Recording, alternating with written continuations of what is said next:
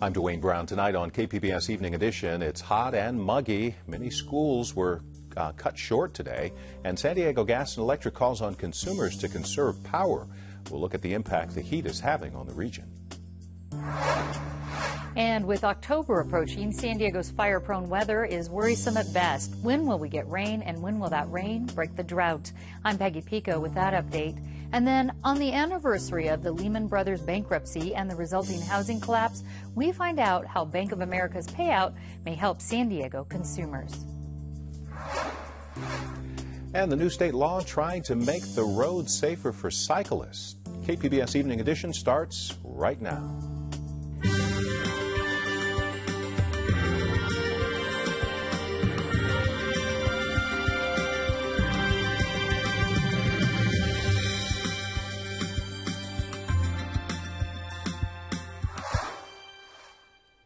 Hi, good evening. Thanks for joining us. With temperatures topping 100 in some parts of San Diego, many schools cut classes short.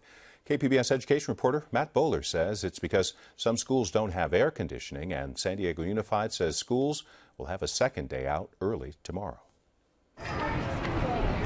Parents brave the heat and humidity to pick up their kids early from school here at Alice Birney Elementary in University Heights.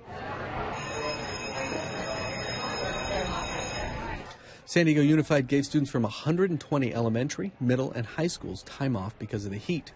Eight year old Isaac Alvarez says the heat doesn't just affect him in the classroom, but one of his favorite things at school suffers too. At recess, a lot of kids just don't play. Parent Valerie Loy says none of the classrooms at Birney have air conditioning and students normally tough it out.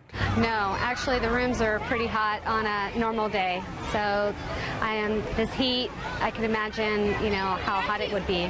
For many parents, scheduling work and last minute changes to childcare can be a challenge. Josette Alvarez was picking up her second grade daughter and third grade son, and she says that parents were upset about having to pick up their kids early and rearrange work schedules. It is inconvenient. I have heard parents complain, but it is what it is. I'd rather my kids be comfortable and cool. The hot weather continues into Tuesday. Matt Bowler, KPBS News. Well, some schools are planning another minimum day and some aren't. Contact your school if you have any questions. California's heat wave is also prompting utility officials to encourage us to conserve power. San Diego Gas and Electric has instituted a reduce your use refund program. Joining us to talk about the situation, KPBS reporter Eric Anderson. So, Eric, what are they specifically asking customers to do? Well, Dwane, the power company is hoping that people really don't go overboard trying to keep cool. They're asking residents to reduce the strain on the power grid between 11 and 6 today, and they're asking for similar help during the same period of time tomorrow. Power forecasters say the peak power usage could climb into record breaking territory either today or tomorrow, and rolling back electricity use could put money back into the pockets of customers, at least the ones that signed up with SDG&E's Reduce Your Use program. They could earn a bill credit of 75 cents for each kilowatt hour they save. There is a scale on the utility's website. Use less than the amount of power shown, and that refund will be added to your bill. Now, is there a shortage of power at this point? SDG&E officials, SDG&E uh, officials say no, plenty of power. They say that rolling back usage just helps them stabilize the local grid. And Eric, if there's enough capacity, why is SDG&E pushing to build more power plants? Well, that's exactly the question that some critics are asking. SDG&E says that they are asking for proposals that would generate 500 to 800 megawatts of locally produced power. That's to replace power, they say, that used to be generated by the San Onofre Nuclear Power Station. But engineer Bill Powers says that doesn't make any sense. San Onofre initially goes down in January of 2012. In the first six months of 2012, within 80 miles of San Onofre, 2,000 megawatts of natural gas fired plants came online. Since that time, even more have come online. At the same time, in the same period, 3,000 plus megawatts of renewable energy came online. Powers says that SDG&E has steadily projected the need for more power, but he says demand has stayed relatively flat. Earlier this year, the power company predicted a possible peak power usage of 5,300 megawatts locally. Power usage peaked near that 4,800 megawatt mark in the midst of the current heat wave. And that's one reason why he's working with a group trying to stop the Pio Pico power plant that's been proposed for Otay Mesa. He says the region just doesn't need that extra power. KPBS reporter Eric Anderson. Of course, San Diegans are used to Santa Ana heat in September, but what difference, if any, does this high humidity and hurricane along the Baja coast make? Peggy Pico finds out more about our wildfire risk and when we might expect some rain. Joining me with a detailed look at our weather patterns are my guest, meteorologist Alex Tardy with the National Weather Service and Dan Cayan, climate researcher with Scripps Institution of Oceanography and the U.S. Geological Survey. Welcome back. Thanks for having Thanks, us. Now, Alex, temperatures along the coast are going to be about 10 to 15 degrees above normal, with I believe expected temps in the 80s and 90s this week. Mm-hmm. Why the high temperatures along our coast? Yeah, it seems like a broken record. We just went through this recently, and it's been a warm summer. Um, what's happening is the marine layer, which cools us off all the time, is really squashed and really not even there anymore.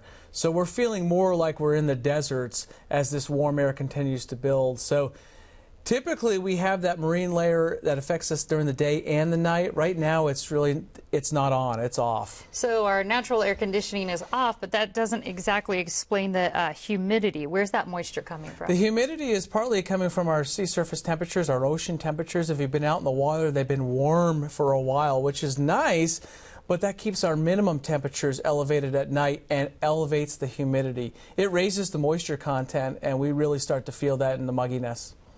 And is that hurricane moisture then? It's not directly hurricane moisture. Uh, we had Norbert last week, and we have Odile this week, and it's it's kind of indirect. These warm sea surface temperatures have been in place for a while, so it's indirect. The the part about the hurricanes is we start seeing increased thunderstorm activity out in our mountains and deserts, and that's more attributed to the tropical moisture. And speaking of moisture, Dan, uh, basically we're hearing conflicting reports about this El Nino or supposed El Nino that is uh, might be seen we might see this year. Can you tell us about what we can expect? Well, um, conditions are a little uh, warmer than normal in the tropical Pacific, unlike the extratropics that A- uh, Alex was talking about, our nearshore waters being exceptionally warm. Um, for an El Nino to develop, we need uh, temperatures in the surface areas of the eastern part of the Pacific Basin to be much warmer than they are right now. And chances are something in the neighborhood of uh, two to one that we'll see at least a mild El Nino, but it doesn't look like we'll have a strong El Nino, unfortunately. Yeah. When you say mild El Nino, what does that mean in terms of inches of rain? Well, if, if I knew, um, I would have a higher pay grade. But uh, the um, it turns out that mild El Ninos can, can give us give us lots of flavors of rainfall here in, in California. Uh, the good thing is that we don't have cool conditions along the tropical Pacific, which is uh, almost a sure symptom that things are going to be normal to below. Uh, having at least mildly warmer temperatures, we could get anything from not so good to a pretty good rainfall Yes. season. So, the, we'll the see. jury's still out on that one. And It is. Alex, I know as we approach October, people, of course, naturally start worrying about wildfires, the hot, you know, hot, dry by this time of the year. What's the forecast telling us as far as um, Santa Ana winds and our fire danger?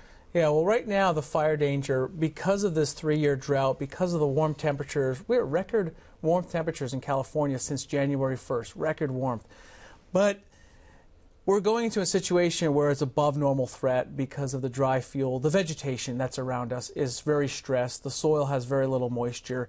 So, if we knew the amount of Santa Anas, you know, it'd be helpful, but we do know we'll get Santa Anas. It's just a matter of when. October and November, they're very common. They actually peak out in January.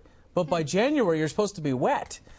So we'll be holding our breath this October, November, because if we don't get significant rainfall that's widespread to really put it, uh, uh, to damper the situation with the fire weather, we know we're going to get some Santa Anas, and it's going to be critical if there are any starts. And this dry brush down, of course, the drought. Everybody knows about the drought here. It seems to be one of the worst. But how does it compare to other droughts in California? It, it history? is one of the worst. It's uh, not the worst uh, when we look at, at the data stacked up, but it's certainly uh, extreme. And we've lost over the last three years equivalent of almost a year's worth of precipitation. So we we have a big hole to climb out of. And uh, what'll, what will it take to get uh, get us out of this? How much rain? Oh, it's going to be statewide, probably 150% of normal. So not twice as much of normal, but statewide. If it just rains in Southern California, it's not going to help the drought necessarily at all. We need the whole state to have almost twice as much precipitation they normally see. That in itself brings problems, right? Because that could bring some flooding if that were to happen. Um, it may take us a, a, few years before we stop talking about drought. Okay, yeah. and that was my last question to Dan here. How long? How long do you think we can? Uh, it'll take to climb out of this uh, drought? Well, I, I suspect that uh, even after this year, um, even if it's a mildly good winter, we will probably still have some uh, lasting effects of this deficit because it's been uh, quite extreme, and there's there's been our reservoirs, soil moisture, deep water aquifers and so forth are really depleted right now. All right, so nothing, nothing too soon. It looks like uh, Dan Cayan and uh, Alex Tardy. Thank you so much. Thank you. California's dry weather is leading to an increased number of wildfires. CAL FIRE says it's already responded to more than 4,800 fires since January. That's about 1,000 more than an average year. Currently, two wildfires have led to hundreds of evacuations. One near Yosemite National Park has burned two dozen structures. Farther north, outside of Sacramento, nearly 4,000 acres have burned.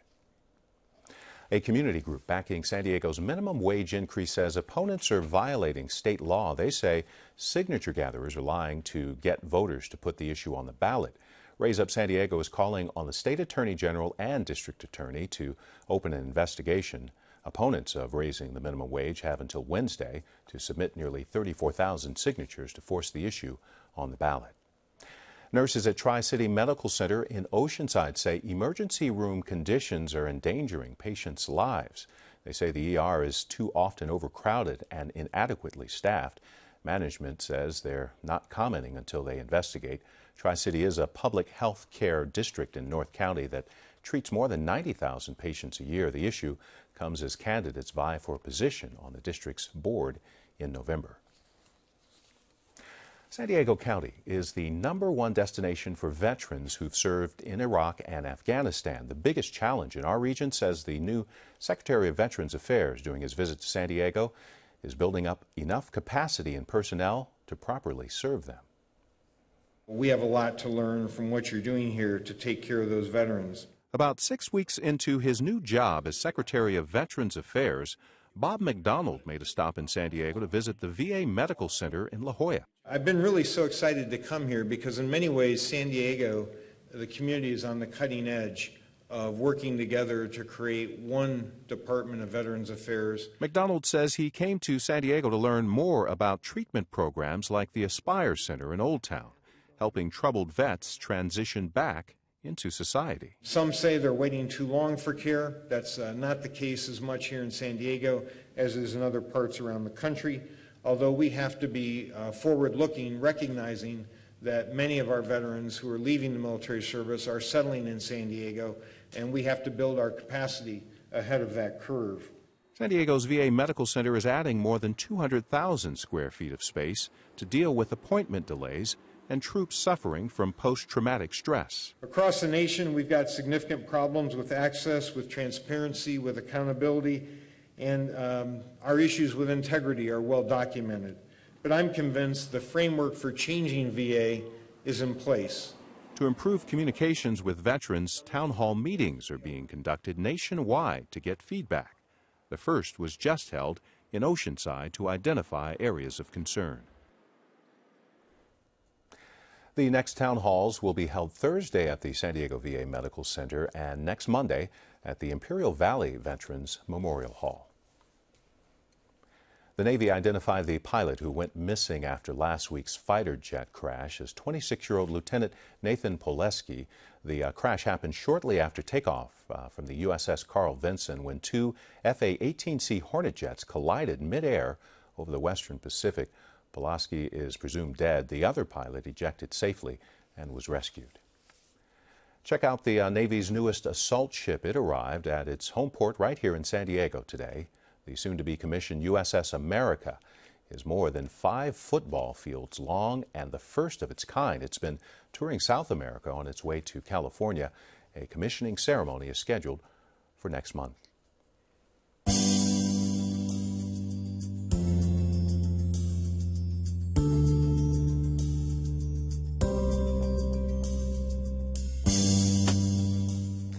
It's been six years to the day since investment firm Lehman Brothers filed for bankruptcy, which led to the stock market plummeting, Great Recession, and the housing market collapse. Peggy Pico has an update on how San Diego is rebounding.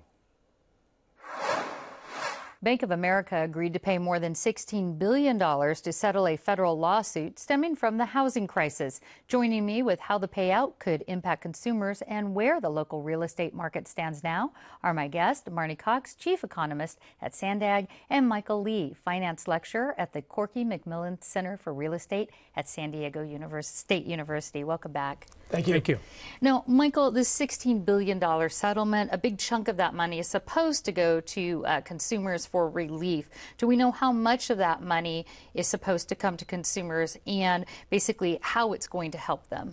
I think about two thirds of that is earmarked for consumer relief, and most of that is to modify mortgages for homeowners that might still be struggling uh, to make payments.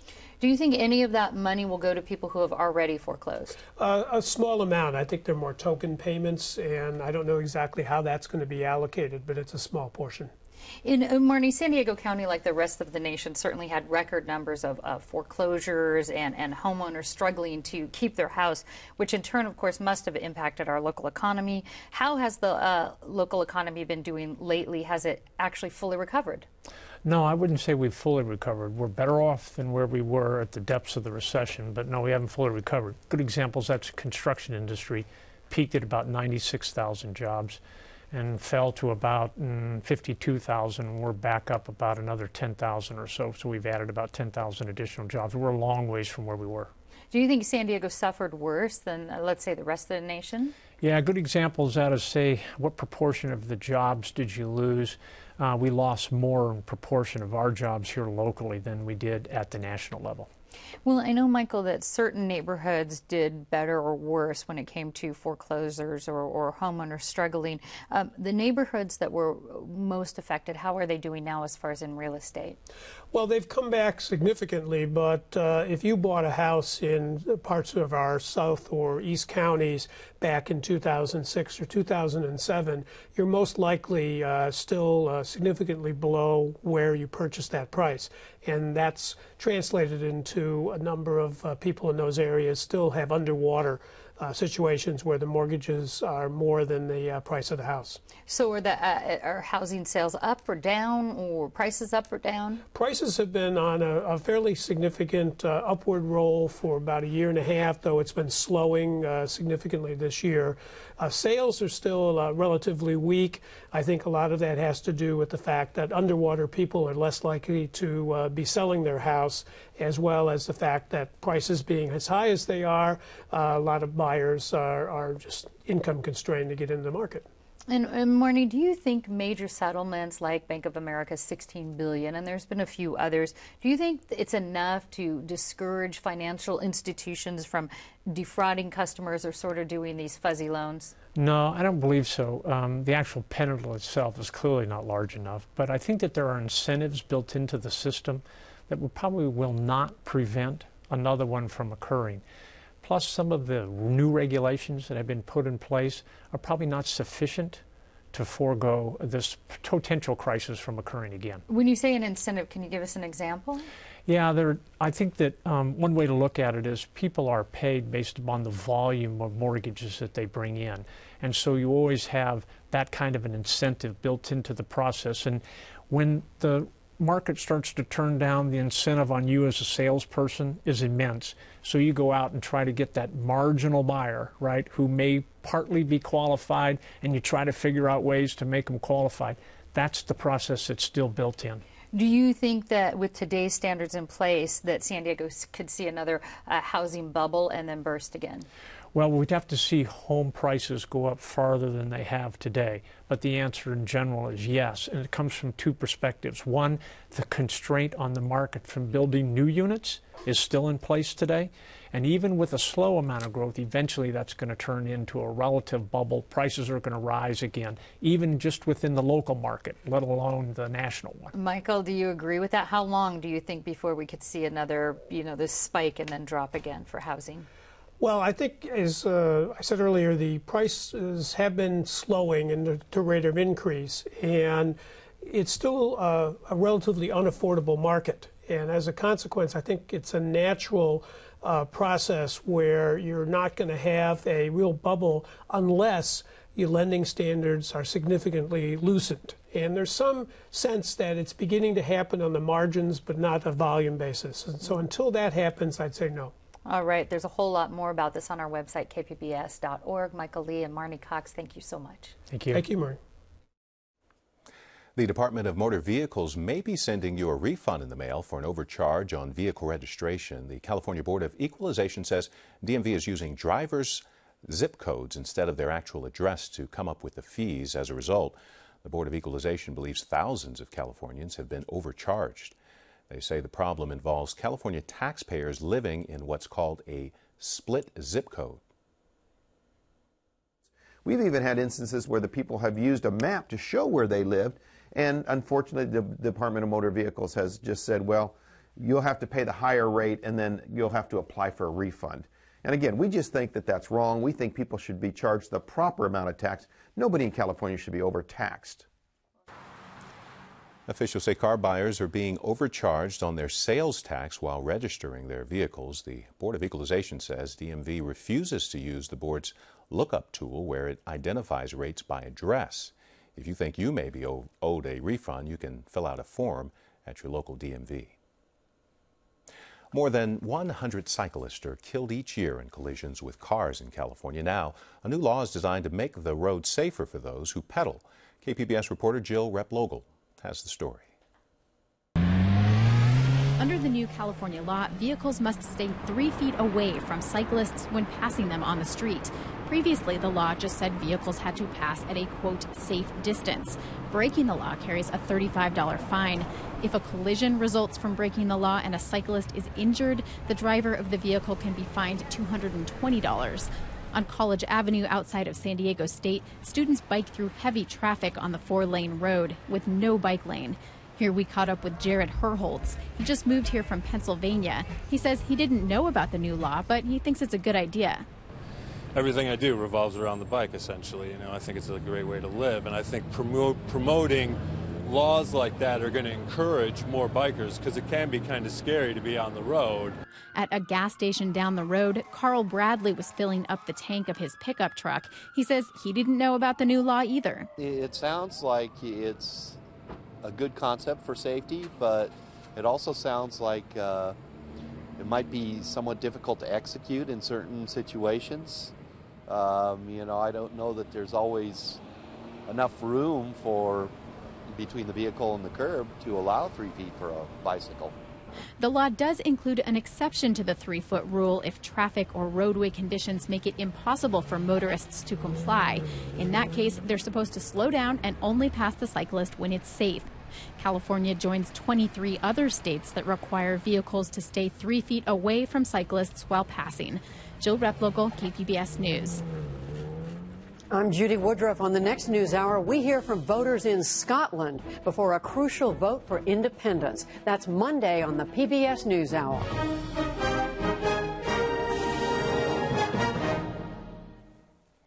Have you heard this? There's a new generation of robots. Tom Ritchie of the Associated Press introduces us to one very sophisticated social robot.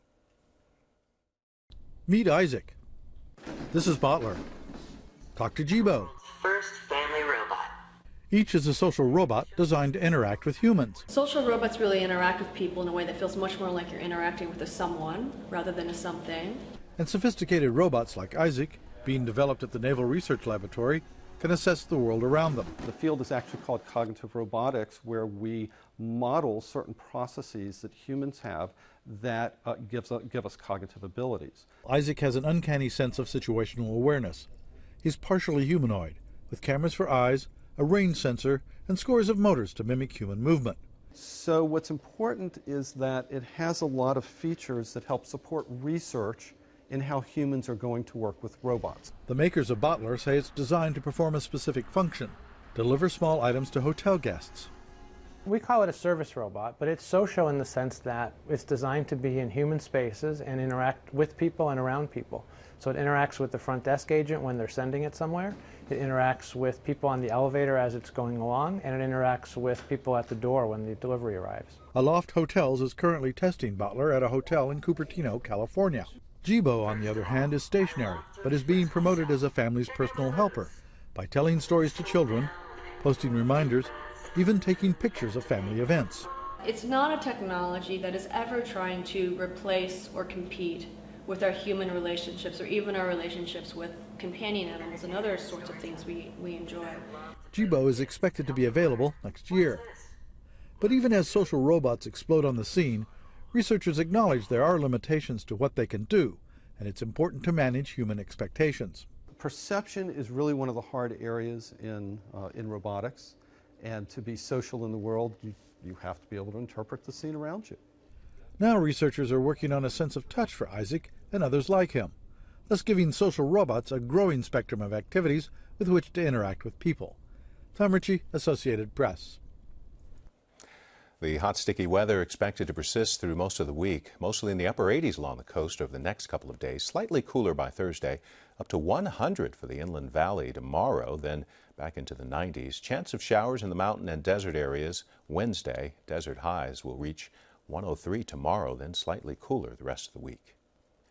You can find tonight's stories on our website, kpbs.org slash evening edition. Thanks for joining us. Have a great night.